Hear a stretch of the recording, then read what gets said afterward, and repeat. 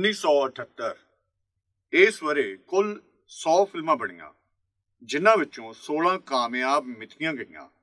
ਇਹਨਾਂ ਕਾਮਯਾਬ ਹੋਣ ਵਾਲੀਆਂ ਫਿਲਮਾਂ ਵਿੱਚ 7 ਪੰਜਾਬੀ 6 ਉਰਦੂ ਤੇ 3 ਪਸ਼ਤੋ ਸਨ। ਇਸ ਵਰੇ ਉਰਦੂ ਦੀਆਂ ਕੁੱਲ 40 ਫਿਲਮਾਂ ਬਣੀਆਂ, ਜਦ ਕਿ ਪੰਜਾਬੀ ਜ਼ੁਬਾਨ ਵਿੱਚ 43 ਤੇ ਪਸ਼ਤੋ ਵਿੱਚ 8 ਫਿਲਮਾਂ ਮੁਕੰਮਲ ਹੋ ਕੇ ਸਾਹਮਣੇ ਆਈਆਂ। 16 ਜੂਨ ਨੂੰ ਹਿਦਾਇਤਕਾਰ ਸੰਗੀਤਾ ਦੀ ਮੁੱਠੀ ਭਰ ਚਾਵਲ ਆਈ। ਕਿਹਾ ਜਾਂਦਾ ਹੈ ਕਿ ਇਹ ਫਿਲਮ ਰਾਜਿੰਦਰ ਸਿੰਘ ਬੇਦੀ ਹੋਰਾਂ ਦੇ ਇੱਕੋ ਇੱਕ ਪੰਜਾਬੀ ਨਾਵਲ, ਇੱਕ ਚਾਦਰ ਅਧੋ ਰਾਣੀ ਦੀ ਕਹਾਣੀ ਉੱਤੇ ਬਣੀ।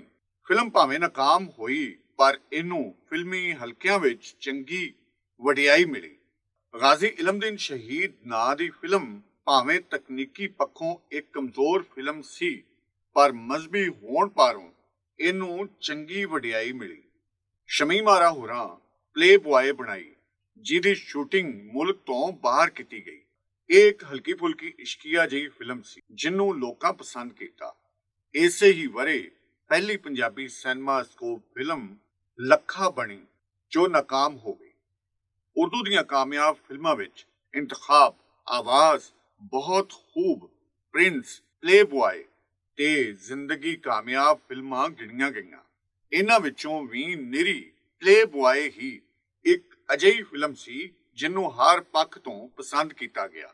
ਇਸ ਵਰੇ ਹੈਦਰ ਅਲੀ ਨਾਂ ਦੀ ਇੱਕ ਤਵਾਰੀਖੀ ਫਿਲਮ ਵੀ ਬਣੀ, ਪਰ ਉਹ ਵੀ ਨਾਕਾਮ ਹੋ ਗਈ। ਪੰਜਾਬੀ ਫਿਲਮਾਂ ਦੇ ਪ੍ਰਸੰਗ ਵਿੱਚ 43 ਵਿੱਚੋਂ ਨਿਰੀਆਂ 7 ਫਿਲਮਾਂ ਕਾਮਯਾਬ ਹੋ ਸਕੀਆਂ। ਇਹਨਾਂ ਕਾਮਯਾਬ ਹੋਣ ਵਾਲੀਆਂ ਫਿਲਮਾਂ ਵਿੱਚ ਬਾਈਕਾਟ, ਜਸ਼ਨ, ਰੰਗਾ ਟਾਕੂ ਸ਼ਰੀਫ, ਜ਼ਿੱਦੀ ਗਾਜ਼ੀ ਇਲਮਦੀਨ ਲਾਠੀ ਚਾਰਜ ਤੇ ਹੀਰਾ ਤੇ ਬਸ਼ੀਰਾ ਦੇ ਨਾਂ ਆਉਂਦੇ ਹਨ।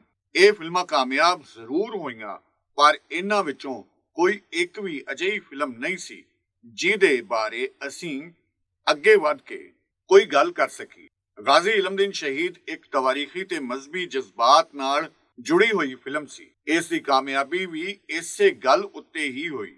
ਉਂਝ ਇਹ ਫਿਲਮ ਹਰ ਪੱਖ ਤੋਂ ਇੱਕ ਕਮਜ਼ੋਰ ਫਿਲਮ ਸੀ।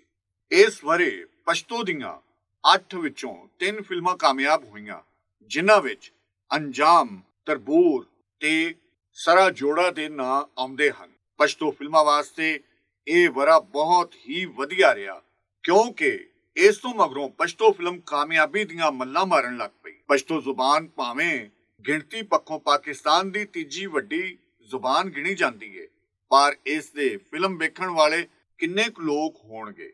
ਸੂਬਾ ਸਰਹੱਦ ਕੇਪੀਕੇ ਕੁਝ ਇਲਾਕਾ ਬਲੋਚਿਸਤਾਨ ਦਾ, ਕਰਾਚੀ ਤੇ ਲਾਹੌਰ, ਇਸ ਦੀ ਵੱਡੀ ਮਾਰਕੀਟ ਗਿਣੀ ਜਾਂਦੀ ਹੈ ਪਸ਼ਤੋ ਬੋਲਣ ਵਾਲੇ ਆਪਣੀ ਜ਼ੁਬਾਨ ਨਾਲ ਬੇਅੰਤ ਮੋਹ ਕਰਦੇ ਨੇ।